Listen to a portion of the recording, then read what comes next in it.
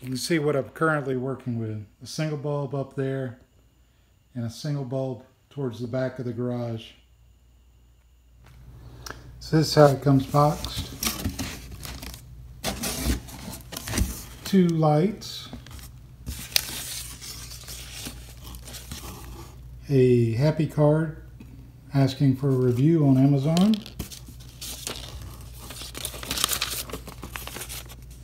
Very basic instructions. Basically says indoor use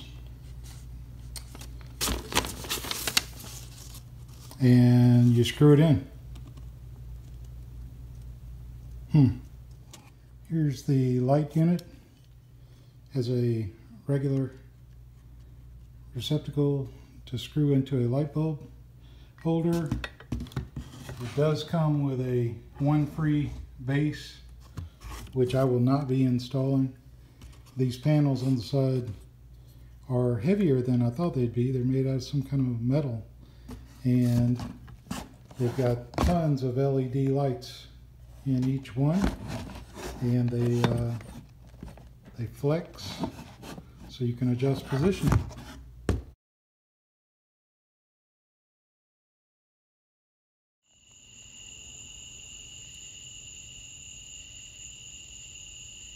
Here's the view with the doors up at night with the old light bulbs.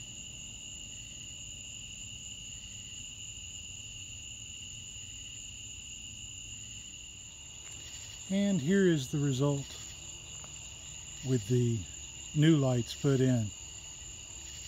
I'm happy with it. It's very, very bright in there now.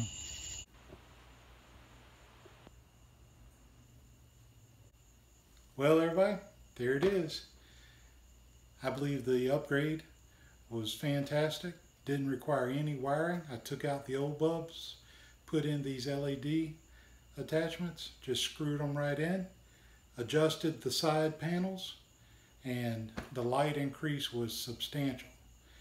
I'm hoping these last for a long time. They've re received some good reviews out there.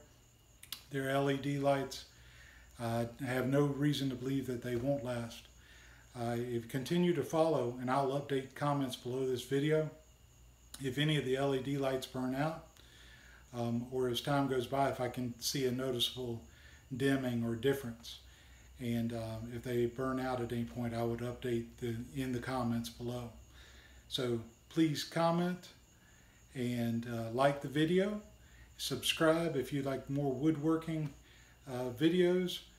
And thank you for watching. Oh, I hear my wife calling. I gotta go.